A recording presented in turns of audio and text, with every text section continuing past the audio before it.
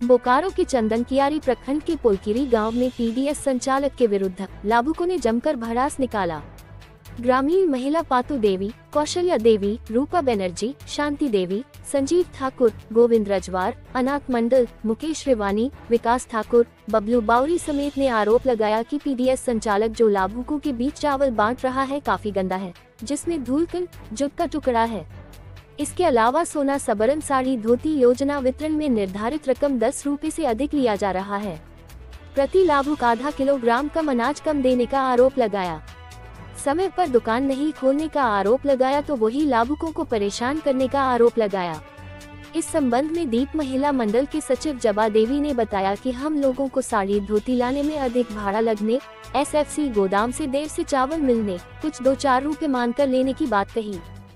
साड़ी धोती का दाम दस रूपए है, जबकि पच्चीस तीस रूपए मानने का आरोप लगाया। सुसेन जी, कहाँ आए हैं? क्या समस्या रहा जो आपने हम लोग को याद किया? यही देखिए, चावल का इससे दिन ठकान नहीं रहता है। कभी दस बजे खुलता है, कभी ग्यारह बजे खुलता है, दो बजे में बंद कर देता है। हम लोग यहाँ पर सब लाइन लगा के बैठले रहता है, खाना खाने के लिए चल जाता है। चावल का कार्ड पीछे बीस रुपया करके लेता है। एक सौ कार में बीस रुपया लेता है। धोती, साड़ी देने से, लुंगी, रीति देने से तीस रुपया लेता है। कुछ बोलने से बोलता है, जाओ जो कुछ करना है कर लो। हाँ दाल तो कोई बताया ये तीन सौ फिंगर लेता है तो दस तुम्हें चार घंटा टाइम लग जाता है। हो नहीं। समस्या है समस्याओं को लेकर के क्या कुछ मांग करते हैं? प्रखंड को प्रखंड। टाइम होना चाहिए पैसा उचित मूल्य लेना चाहिए जो उसका आप लोग कितने बोले हैं तो आप लोग सुनाइए आखिर जिला किलो चावल कटता है कार पे दो किलो चावल कटा है पाँच आदमी है हम लोग। कार्ड पीछे दो किलो चावल काटता है। यूनिट में आधा किलो। पर एक यूनिट में आधा किलो। एक पर व्यक्ति आधा किलो। हर व्यक्ति में आधा किलो। क्या नाम आपका? सुजन का हुसैन ठाकुर। क्या आपका डीलर का नाम क्या है? आपका पीडीएस दुकानदार का नाम क्या है? दीप महिला मंडल। बीस महिला मंडल। का राशन देने का कोई टाइम टेबल फिक्स नहीं होता है। सारी दुकान में आज दो तीन दिन पहले से राशन दे रहा है लेकिन इनका आज से शुरू हुआ है। शुरू होने के बाद इनका कोई खबर नहीं है कि कब राशन देगा किन्हीं को कोई इन्फॉर्मेशन नहीं आ सकती तीन चार किलोमीटर दूर से राशन लेने आते हैं हम लोग। पोलकिरी रेवेन्यू से आते हैं। लेकिन कोई पत, आता पता नहीं। अगल बगल से जानकारी मिलता है कि राशन मिलेगा। आज के डेट में राशन लेने आया हूँ। सुबह आठ बजे कागज़ देके लाइन लगा के गया हूँ। अभी तक राशन नहीं मिला है। सबका साथ वही हाल है। सब कोई छह बजे कोई सात बजे कोई आठ बजे। और अभी तक राशन नहीं मिला है। और इसके बाद और एक प्रॉब्लम है। इसको अगर अदर डे कोई आकर रिक्वेस्ट कर ले कि मैं बाहर जाऊँगा मेरा चावल दे दीजिए। मैं छूट गया था किसी कारण बस तो बोलता है नहीं अब आएगा अगला महीना अगर फिंगर उठेगा तो देंगे नहीं तो नहीं देंगे। तीसरी बात इनका पैसा का मनमानी वसूली है जैसे कि? जैसे कि साड़ी लेना आया तो सब डीलर से बीस रुपया करके ले रहा था। ये तीस रुपया लिया है। और ये बोला है कि तीस रुपया लेंगे देना है तो दो नहीं देना है तो जो करना है कर लो। बोलता है भाड़ा लगता है उतना। ऊपर से कभी रिक्वेस्ट करके अगर बोल देंगे कि थोड़ा चावल दे दीजिए मैं बाहर जा रहा हूँ तो नहीं नहीं नहीं, कल आइए। परसों नहीं नहीं नहीं होगा। अभी अगला डेट में जब खुलेगा अभी फिंगर काम नहीं कर रहा है मशीन काम नहीं कर रहा है। समस्याओं समय का समस्याओं को लेकर के कितनी तक झेलना पड़ रहा है लोग समस्या हर महीना यही हाल है। दो तीन दिन ये राशन तीन से चार दिन देते हैं। उसमें से इसका राशन कार्ड ज़्यादा है और हम लोग को वही दो तीन बजे के बाद फिर दो बजे के बाद घर जाना फिर अगले दिन आके लाइन लगाना। कोई ठीक नहीं कि दो बजे उसका अगले दिन सुबह आ पाऊँगा कि नहीं आ पाऊँगा? हर कोई विकास क्या समस्या है? समस्या यहाँ है यहाँ पहले बात महीना में दो से तीन दिन दिया जाता है।